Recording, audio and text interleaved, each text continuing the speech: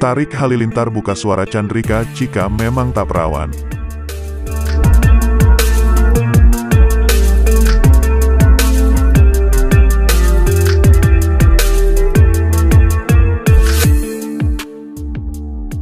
Kembali lagi di channel Gudang Seleb Indo, yang selalu memuat informasi tentang dunia selebriti dan sosial.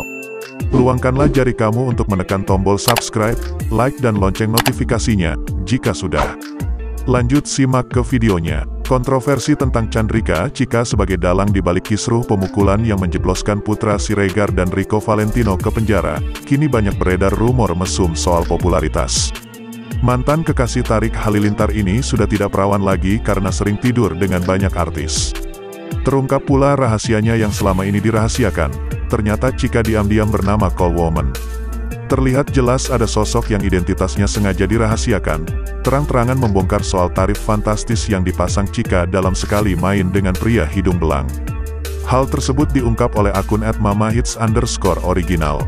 Dalam akun tersebut, sebuah tangkapan layar menunjukkan seorang pengguna internet membuka kedok Chandrika Cika.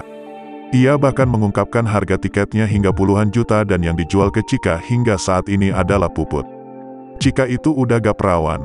Cika pernah tidur sama lelaki hidung belang bawaan puput dibayar 20 juta rupiah, ungkapnya.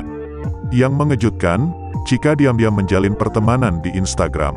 Postingan yang tiba-tiba tersebut membuat netizen kaget dan merasa tertipu dengan kepolosan sang seleb lalu mendapat komentar sarkastik dan kasar. Ternyata oh ternyata, pantesan kemarin akrab banget ya, kata netizen. Seorang netizen, bahkan mengancam Cika jika tidak mau memberikan klarifikasi tentang pemukulan yang banyak dibicarakan itu. Lebih lanjut, ia merupakan seleb TikTok yang pernah berkolaborasi dalam tarian Papi Kolu dengan sejumlah artis ibu kota, antara lain Raffi Ahmad, Memes Prameswari, dan Tiara Andini. Tidak hanya itu, Chandrika Cika juga merupakan brand ambasador untuk sebuah produk kecantikan. Baru-baru ini, Chandrika Cika menjadi sorotan publik setelah terlibat kasus pemukulan yang diduga dilakukan oleh putra Siregar dan Rico Valentino. Sebelumnya, ia juga menjadi sorotan publik saat dikabarkan dekat dengan Tarik Halilintar. Agama Chandrika Cika adalah Islam. Ia adalah mahasiswi di Universitas Sriwijaya. Wanita yang sibuk membuat konten TikTok ini memiliki hobi jalan-jalan ke berbagai destinasi wisata di Indonesia.